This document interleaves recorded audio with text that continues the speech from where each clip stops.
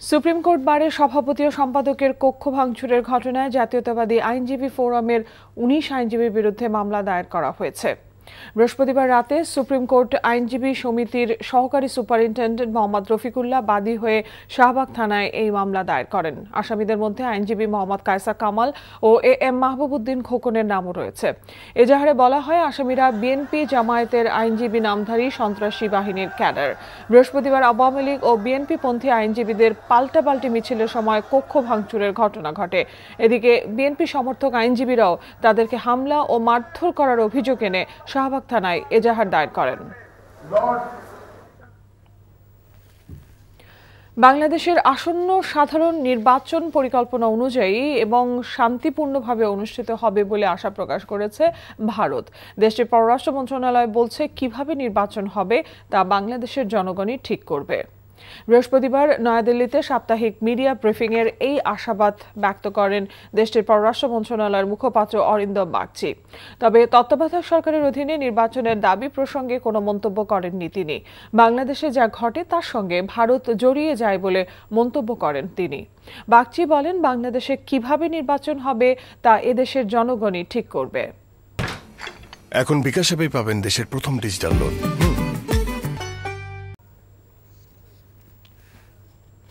গাজীপুর মহানগরীর ঢাকা টাঙ্গাইল মহাসড়কের কোনাবাড়ি থানার বাইপাইলে সড়ক দুর্ঘটনায় দুইজনের মৃত্যু হয়েছে। এই ঘটনায় আহত হয়েছে আরও আটজন। পুলিশ জানায়, সকালে একটি মাইক্রোবাসে করে চালক সহ কয়েকজন বন্ধু কাশিমপুর থেকে নিকলির উদ্দেশ্যে যাচ্ছিল। তাদের বহনকারী মাইক্রোবাসটি ঢাকা টাঙ্গাইল মহাসড়কের বাইপাইল এলাকায় পৌঁছলে চাকা ফেটে নিয়ন্ত্রণ হারিয়ে সড়কের পাশে দাঁড়ানো কাভার্ড ভ্যান ও রোড ডিভাইডারের সাথে ধাক্কা খায়। এতে গাড়িতে থাকা চালক সহ দশজন আহত হয়।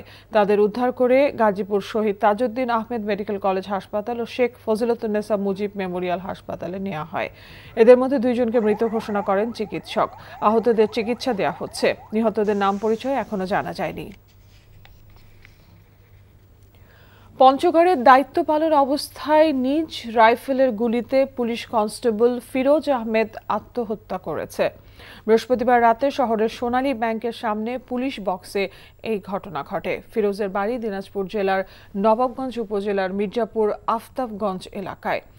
পুলিশ জানায়, ফিরোজ গত একত্রিশে জুলাই পঞ্চগড় সোনালী ব্যাংক গার্ডে যোগদান করেন। বৃহস্পতিবার রাতে ফিরোজ তার স্ত্রী উপমার সাথে মোবাইলে কথা বলছিলেন। এক পর্যায়ে উত্তেজিত হয়ে ফিরোজ নিজ রাইফেল দিয়ে গলায় গুলি চালায়। এ সময় তার সহকর্মীরা গুলিবিদ্ধ অবস্থায় ফিরোজকে উদ্ধার করে পঞ্চগড় আধুনিক সদর হাসপাতালে নিয়ে গেলে চিকিৎসক তাকে মৃত ঘোষণা করেন। তার মুখ, নাক, কান ও মাথা দিয়ে রক্তক্ষরণ হচ্ছিল। গলার নিচে ও মাথার উপরে একটি ক্ষত চিহ্ন ছিল। স্ত্রীর সাথে ঝগড়ার পর অভিমান করে নিজ রাইফেল দিয়ে আত্মহত্যা করেছে বলে প্রাথমিকভাবে ধারণা করছে পুলিশ। চতুর্থ দিনের মতো বন্ধ রয়েছে ভোলা, লক্ষ্মীপুর রুটের ফেরি চলাচল। খুব বেড়েই চলছে আটকে পড়া যানবাহন চালক এবং সাধারণ যাত্রীদের মধ্যে। দুর্যোগপূর্ণ আবহাওয়ার ফলে যাত্রীবাহী লঞ্চ শতাব্দী শতাব্দী বাঁধন লঞ্চের ধাক্কায় ক্ষতিগ্রস্ত হয় ভোলার ইলিশা ফেরিঘাটের পল্টুনটি। পল্টুনের র্যাম্প মেঘনা নদীতে পড়ে গিয়ে গত মঙ্গলবার থেকে বন্ধ হয়ে যায় এই রুটের ফেরি চলাচল। এর ফলে দক্ষিণাঞ্চলের একুশ জেলার যানবাহন চালকরা চরম বিপাকে পড়েছে। বিশেষ করে কাঁচা মাল সহ পচনশীল মালামাল বহনকারী ট্রাকগুলো রয়েছে ঝুঁকির মধ্যে। দুটি পল্টনের একটিও গত তিন দিনে মেরামত করতে সক্ষম হয়নি বিআইডব্লিউটি এর কর্তৃপক্ষ। এদিকে বাস যাত্রীরা বিকল্প ব্যবস্থায় উত্তাল মেঘনা পাড়ি দিচ্ছে জীবনের ঝুঁকি নিয়ে। চেয়ারম্যান সাহেব আমার একটা কথা আছে। তো কথা ছিল তুমি পিছে গিয়া সামনে আসো। এই কদিন ধরে আমি একবারও দেখলাম না জামাইটার কথা রিদিশা চকো ফান বিস্কুট নিবেদিত। নতুন ধারাবাহিক নাটক। প্রবাসী পরিবার। তো খালাম্মার নামে পাঠাইতো তুমি ইচ্ছা মতো খরচ করতা। আমি বিদেশে থেকে কষ্ট করে তিল তিল পয়সা জমা তুমি করে পয়সা পাঠাই। এটা কি হিসাব চাইতে পারি না আমি? আমার কাছে টাকার হিসাব কত বড় সাহস ঠিকই তো আছে। হ্যাঁ বিদেশ থেকে টাকা পাঠায়। তোমার কাছে হিসাব চাইব না তো কার কাছে হিসাব চাইব? পাশে পাশে বেটার কাছে? রচনা ও পরিচালনা মারুফ রেহমান। এটা কি সালাম দেওয়ার জায়গা? ভাবি আমি মাছ রাখতেও পারি না আমি মাছ কাটতেও পারি না। আমার অনেক গন্ধ লাগে। আর তুমি না পারলে রেখে দাও না। আম্মা এসে রান্না করবে আর নয়তো কাজলকে বলে দিচ্ছি কাজল এসে রান্না করবে ঠিক আছে?